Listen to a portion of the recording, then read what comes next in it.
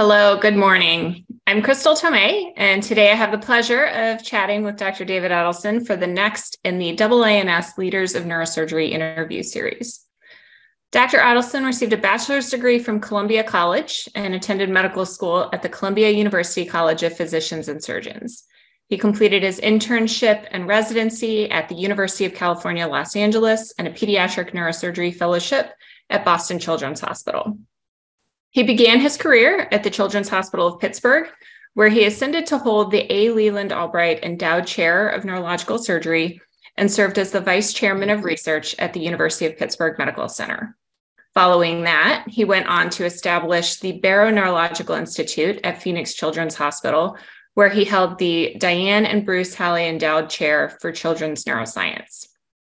Now he has transitioned to his next chapter at West Virginia University, where he is the vice chair of the West Virginia University Rockefeller Neuroscience Institute and executive director of WVU's Medi- Medicine Children's Neuroscience Center. He is a renowned expert in pediatric neurosurgery with a particular interest and expertise in epilepsy surgery, and also an editor of one of the staples of pediatric neurosurgery, Principles and Practice of Pediatric Neurosurgery. So, good morning.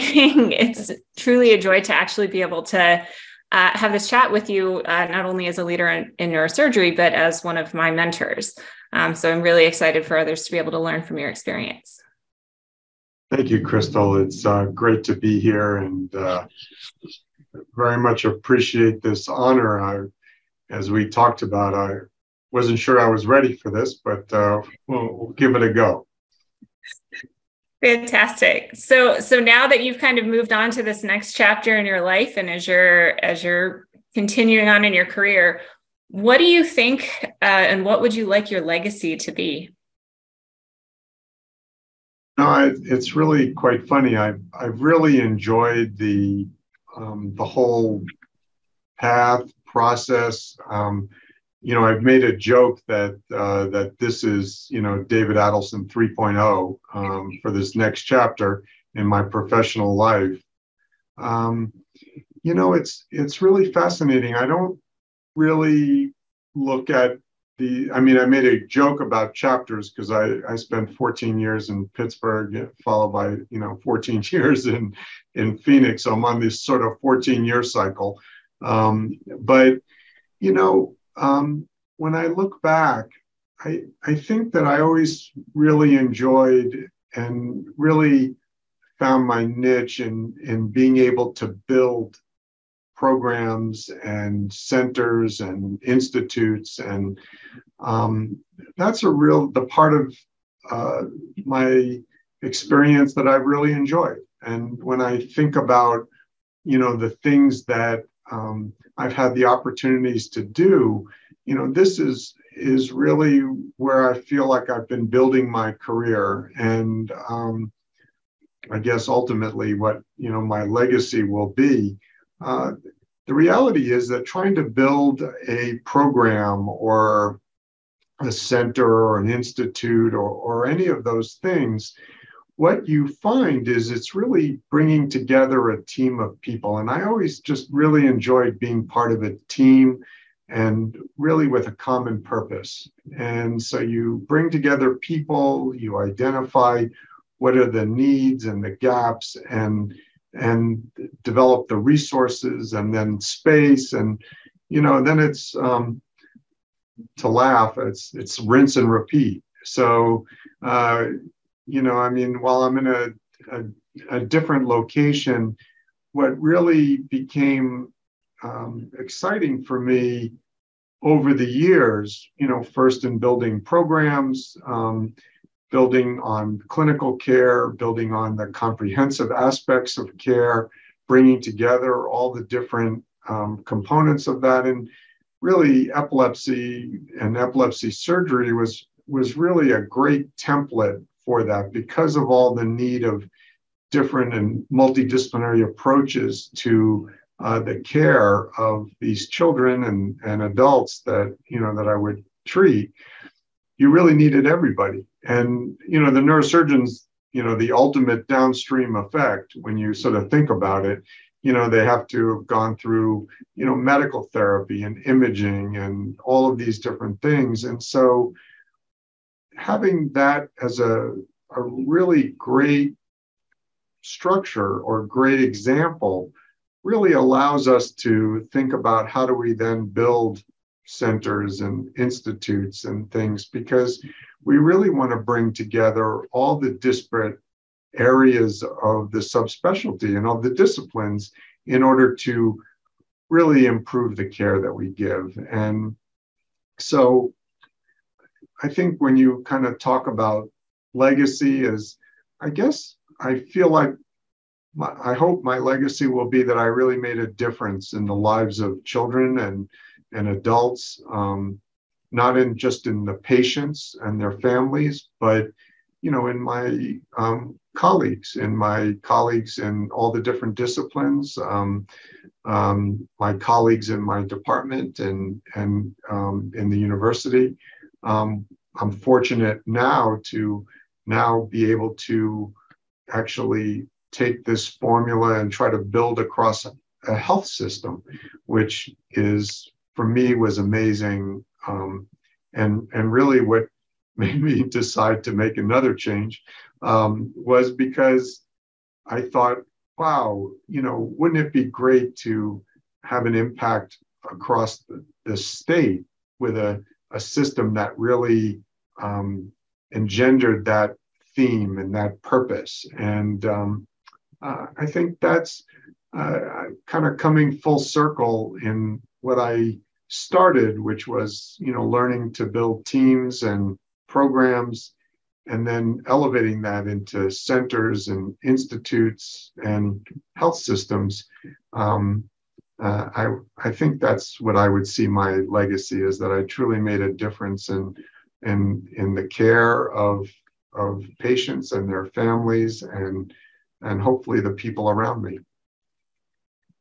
So that's I, I, think that's one of the things that sticks out to me mostly in your career is that it's been more than just neurosurgery. It's it's been a lot of the neuroscience institute. So you you mentioned kind of neurosurgery as the very downstream effect of of epilepsy. So how did how did you take our little microcosm of neurosurgery and elevate it to that level? Like what what was sort of behind that decision and how do you find as the neurosurgeon leading these types of neuroscience institutes um, sort of how did that arise for you?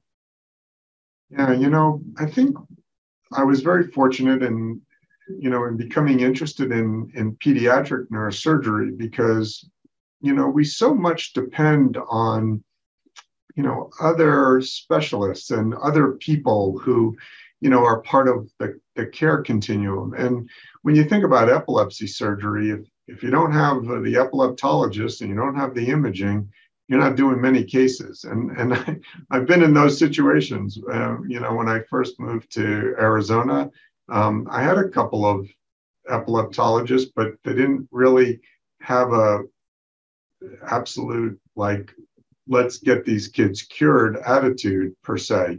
And um, you know that over time it, it built up. And and and again you're you're you you want to have great outcomes. And and so you know patient selection is important and you know making sure you're doing the right things. And having good outcomes. And so but as part of um, building that program it's building that trust across you know your team. Um, you know i really loved when i when i was in training um, donald becker was was the chair at ucla uh, when i was there. And one of the things that he always liked to say about a neurosurgeon was that if you were on an island in you know and you could only pick one doctor type of doctor to have on that island with you he wanted people to think they needed a neurosurgeon.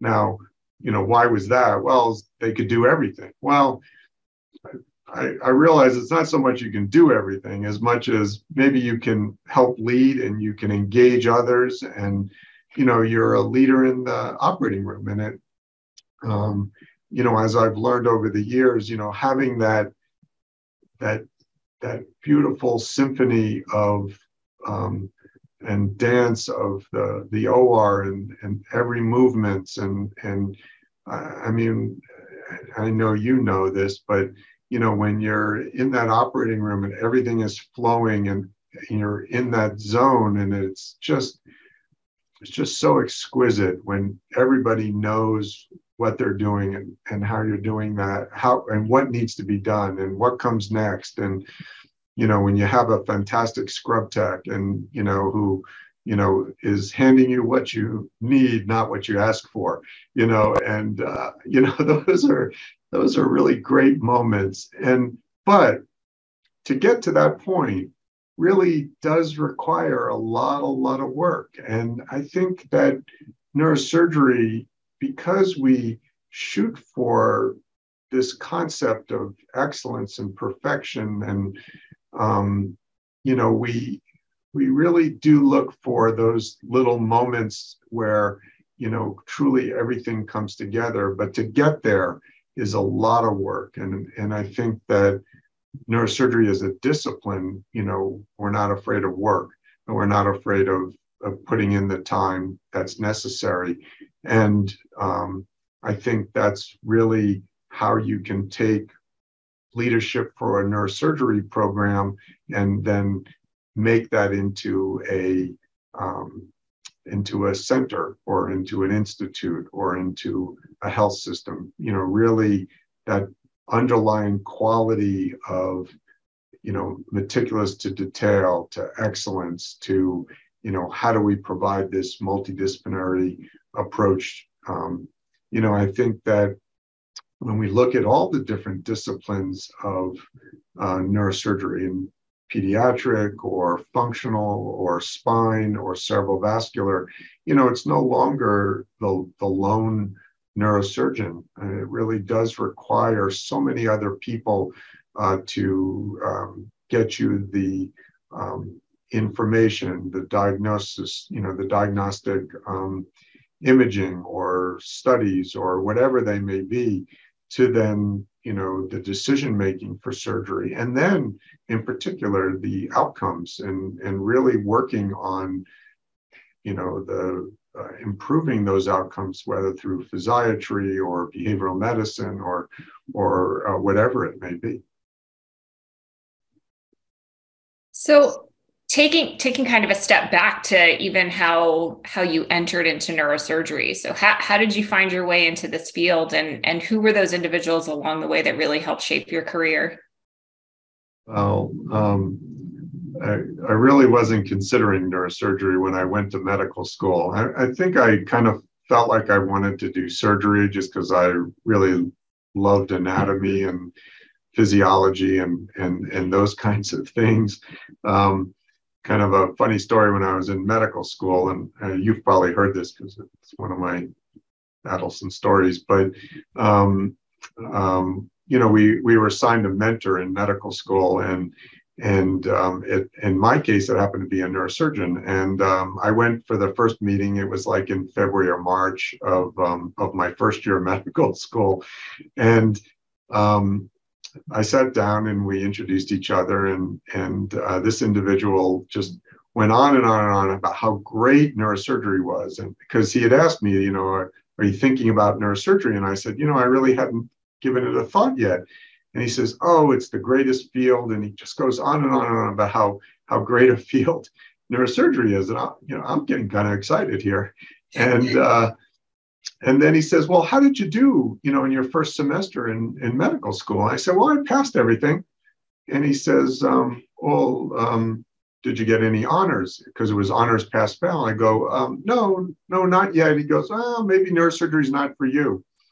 And, and so I was like, oh, Okay, well, you know, maybe neurosurgery is not for me. And, um, but I was very fortunate at, at Columbia, and uh, there's a lot of great neurosurgeons from Columbia, and that's because it had such a great um, medical school uh, curriculum for neuroscience and, and neurosurgery. And so, actually, in my second year of, of medical school, I you know took the neuroscience course, and it was led by Eric Kandel, and who obviously everybody knows is a Nobel Prize, but uh, winner as well as Richard Axel, who was also on the curriculum. And, and so, you know, these were just real luminaries in neuroscience. And I, I started to get, you know, very interested in that. And then when I came up and I still didn't think I could get in. So, I mean, I wasn't even considering it until I, you know, I did a third year rotation and, um, and I was getting honors in my clinical, uh, mostly in my clinical um, uh, years. But the uh, the funny thing was, is I I met um, Peter Carmel, who really was a huge influence on both of us, and that's what one of our shared legacies is.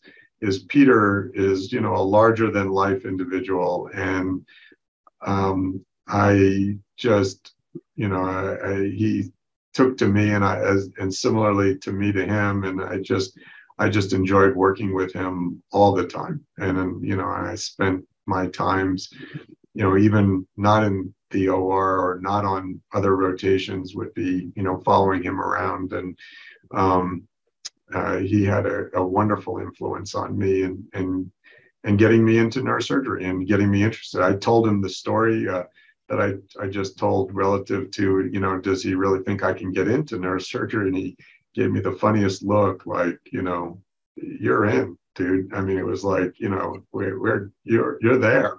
And um, and you know, he made phone calls for me and and you know, I remember that very succinctly. I mean, here is somebody who's, you know, at the top of their field and and so well respected across uh, pediatric neurosurgery, neurosurgery, medicine. I mean, I mean, Peter Carmel, you know, in and of it himself, you know, was just such a major influence. And, you know, um, it's really because of that that I, you know, I do very similar. I make phone calls for students and and try to take them under my wing and and um, try to promote their careers because that was done for me. And so I really, uh, as part of his legacy, pay that forward very, um, very importantly.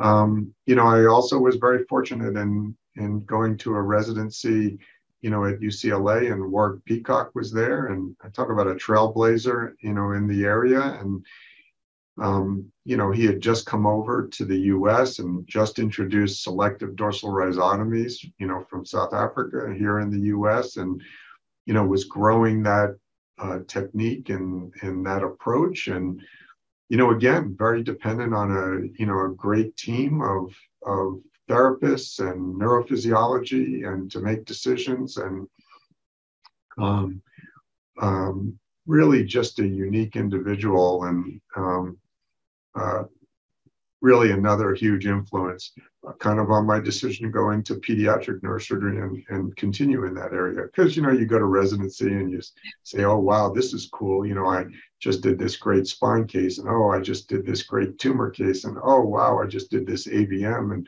you know, next thing you know, you're you're everything from a spine surgeon to a tumor surgeon to a vascular surgeon.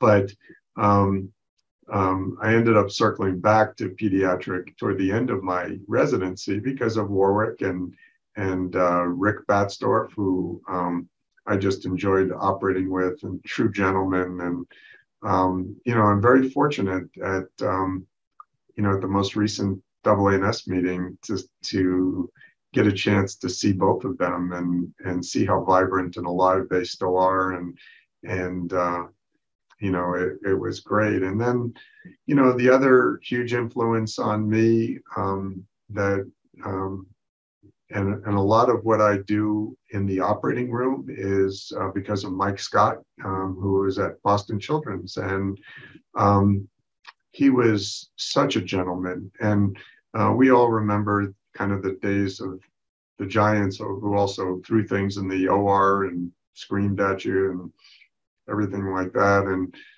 um, Mike Scott was just the penultimate gentleman when things were good or when things were bad. He just didn't change. And he was just absolutely fantastic and so appreciative and um, of everybody. And um, you know, to this day, uh, I watched him go around at the end of every case and thank everybody in the room for helping and being a part of his that surgery. And I follow that to this day, and that's because of him. So he truly uh, embodied that concept of this calm, and I'm not always calm, so I have a lot to learn. But that just that calm and a person who just the meticulousness in every detail, in every detail in the surgery, every detail in his interaction um, with people and with patients, their families, um, with students. Uh, I mean, just I mean, you you felt like you were the center of attention, you know, whenever you came in, and and and so you know he was he was absolutely and is just a wonderful individual that I have a huge amount of respect for. Um, you know, and then you know, really again, you know, you come out of your training and you're this newly minted quote unquote neurosurgeon, you know, and you know, but I I really made a conscious effort to um, not want to be a pediatric neurosurgeon on my own in a practice. Um, I I had those opportunities that you know at the time that I was coming out. Um, you know there were a lot of programs looking for you know single pediatric neurosurgeons. You know most of the other people were doing um, uh, you know, general neurosurgery meant they did pediatric also. And um, it's actually, it'll be 30 years ago next month that I finished, um, or yeah, next month that I finished my residency.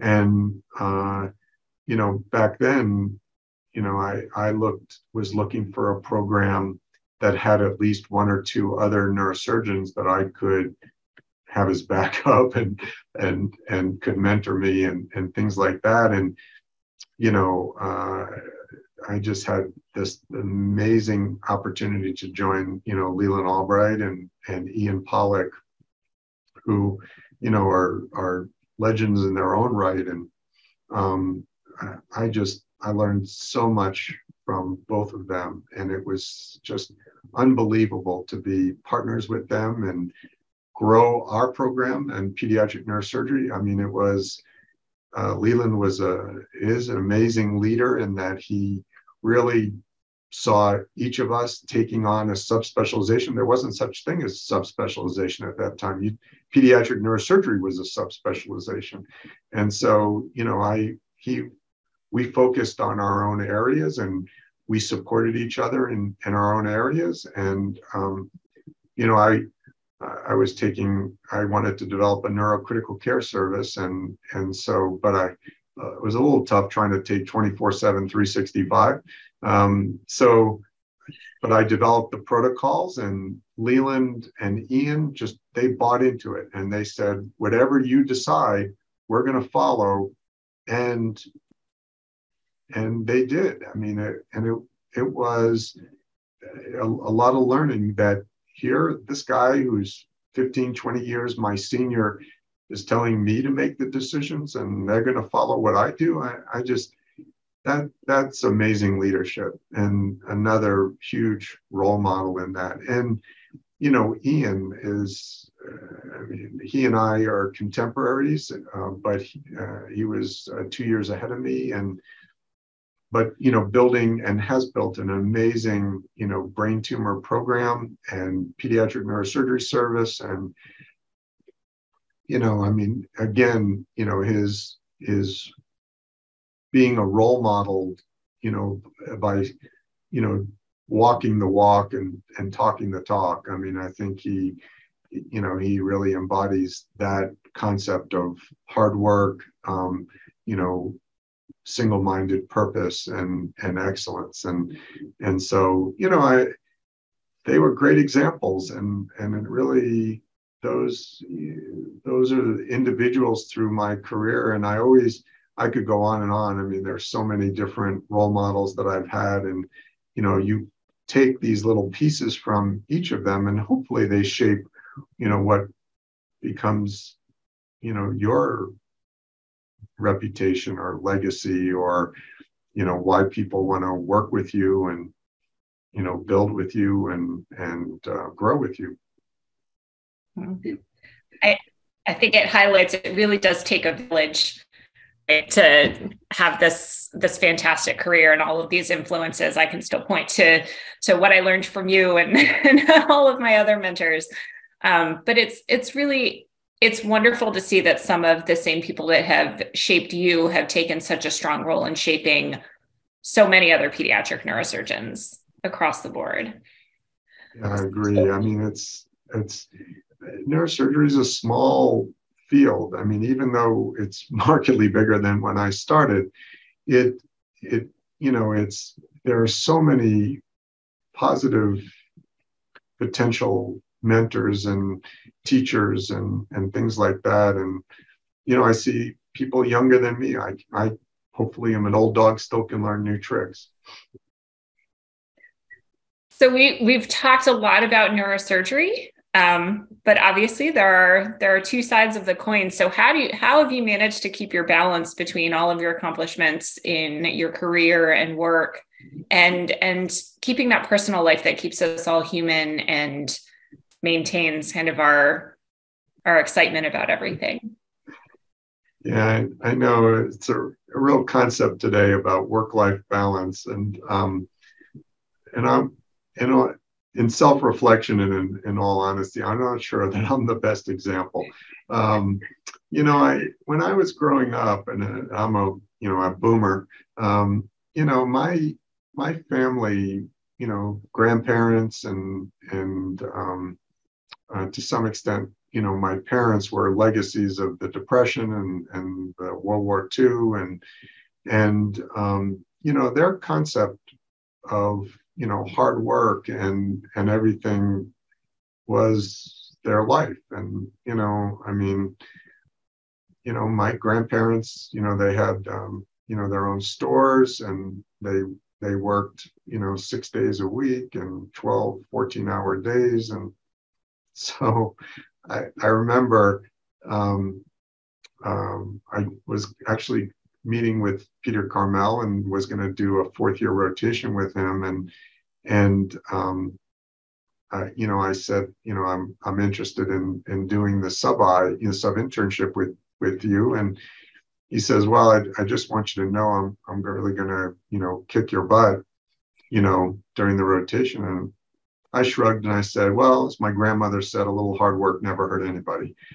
And he, he took a double take and and smiled and and that's really where we got along from the beginning. So I mean, I I really had great role models in my family and and in the people around me, and um, I I never really saw work as a job. I mean, I just love neurosurgery and I love neuroscience and. Uh, you know, it, it's I I haven't really felt you know in a real sense of burnout. I wouldn't say that it doesn't happen. I mean, don't get me wrong. I mean, you know, that would be ludicrous. You know, where you just feel tired out and mentally toast and everything else. Um, um, maybe a little bit more so. Uh, it's a little bit easier to feel toasty around the edges now uh, as you get older. Uh, maybe I don't have as much energy, but um, where I I really felt that I so enjoy the process of what we do, um, and I see life as a living life as a purpose, and I you know making a difference and helping others, and you know I I think you know I mean we talk about a you know I have a I work in neurosurgery, but I have a hobby in neuroscience and I like to build things and I like to make a difference for people, help people. And, you know, I'm very grateful for the privilege to do what I do. And I'm every day I wake up and I'm just amazed, you know, at some of the things that we do. And, you know, I think it defines why I can get up every morning. It you know, who am I going to help today? And who am I going to make a difference in their life or their family's life or and that may be a patient or that could be a student. I mean, you know, helping a student get into medical school or helping, you know somebody and you know decide on you know which job they want to take after their training. Um, i think you know those are really what make life worth living and i think what's really neat about um, academic neurosurgery for me um, is that I, I, get to do so many different things. Yes, I get to do clinical, I get to do surgery, um, but I also get to do research and science and quality and education and education, you know, domestically around the world. I get, you know, I'm, I'm so fortunate that I get invited to, I, to such amazing places to speak and to to learn. And um, you know to me i mean it's like you know what do i have this next week? You know and i mean i think i think that's really what is um, what's kept me balanced. Now i i would say that um, and I, I, know that I'm, I'm saying this somewhat tongue in cheek, but uh, COVID was actually very, very good for me. Um, number one, it stopped me from traveling so much, um, which was which was good. Um, unfortunately, I was also in the demographic of people who were dying. So, I mean, it it kind of throws a little bit of a scare into you, and so, um, you know, I I changed my eating and my health approach, and um, you know, I really. Uh, I, I, lost a lot of weight and and sort of think healthfully now, hopefully, um, more so. Do more getting out into nature and to doing what I can do at, at least at this point, hiking and camping and um, getting outdoors because I, I truly enjoy the outdoors. And I think you do need to find that balance. Uh, another mentor of mine is, is uh, Joe Maroon, um, who uh, I just find amazing and that he balance is work toward us, you know, uh, life as a square and, and balancing all the different uh, legs of the square. Um, I'm far from it, and uh, but I think you know that's what life is. It's it's continuous improvement and um, improving yourself. And uh, as I said, I'm maybe not the best example of work-life balance, but uh, but I'm I'd like to think you know, and as part of my being a role model or mentor is is at least continually learning new things and trying to be better. Um, you know, I think that there's there's a you know a book out now, you know, about sort of atomic habits and you know and and others where you know joy of compounding and if we really improve ourselves, you know, even you know minuscule every day, you know, if just that one percent a day and it it really builds up into you know big changes or big differences down the road. And that's kind of the way i looked at my hopefully my health and my career and and you know what can i do to be better today you know personally or professionally or or spiritually or or or whatever that may be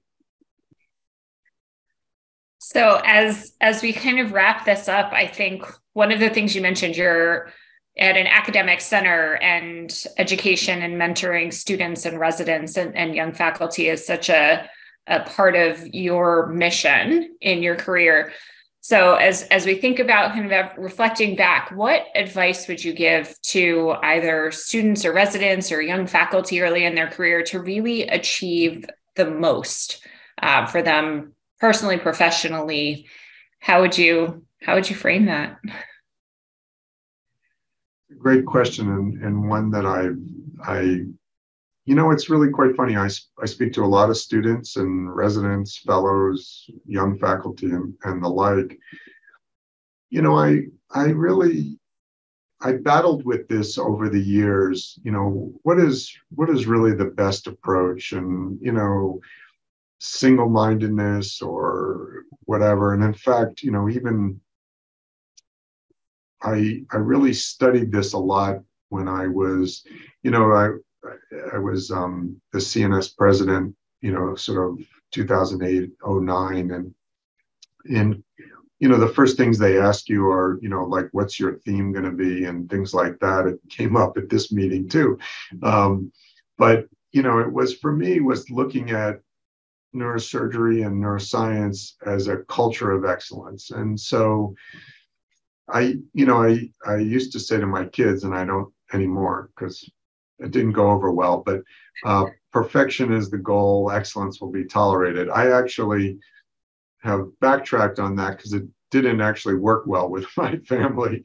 Um, I, I, like the Lombardi quote more, which is um, perfection is not attainable, um, but if we chase perfection, we will achieve excellence. And that's kind of the way that I, I think that when I talk to students and um, and to to that whole group of people, students, faculty, fellows, residents, whatever.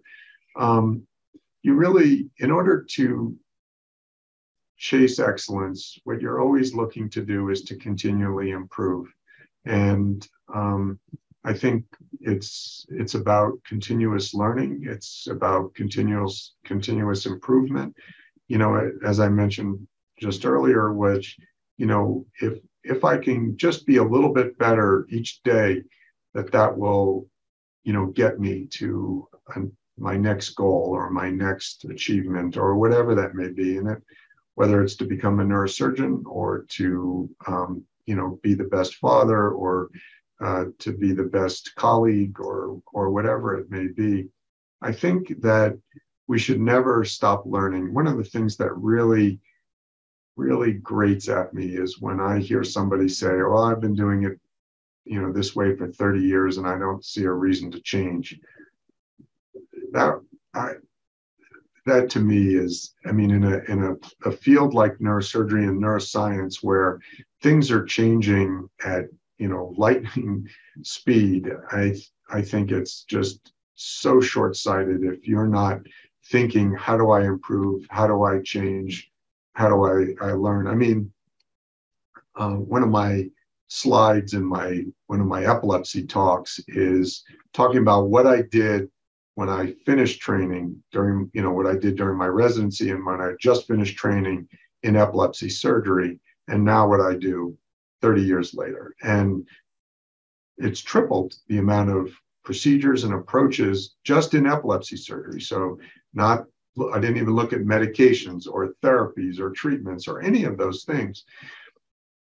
Well, in order to do those, you need to continually retrain. And so, you know, it's been over the last five to 10 years that about every year or two, I go and try to learn a new technology or a new technique.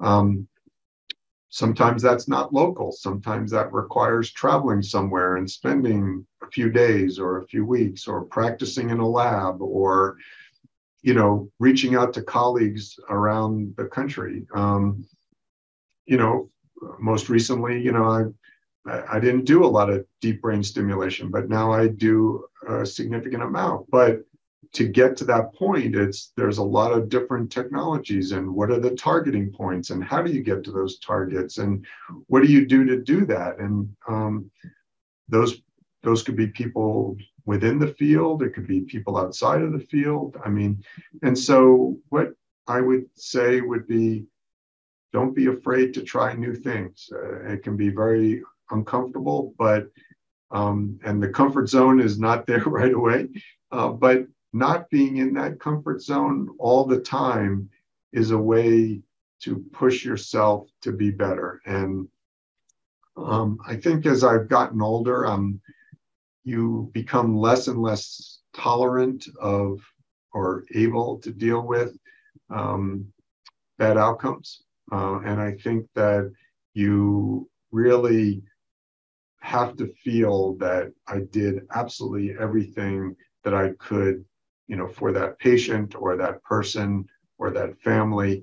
And um, I think that's life, and that's how you keep on living is is continually learning new things and push yourself to um, find individuals within or without your field who um, you know really can help guide you in in you know new ways and teach you new things and new approaches and uh, I think that's what we're seeing now, and and I think that the fields of neuroscience and medicine in a lot of ways. There's so much now overlap and so many opportunities for us to um, bring new things. And I think, you know, to be a, a student or fellow or young faculty at this time is such a great era because I do think there's so much more that we can do.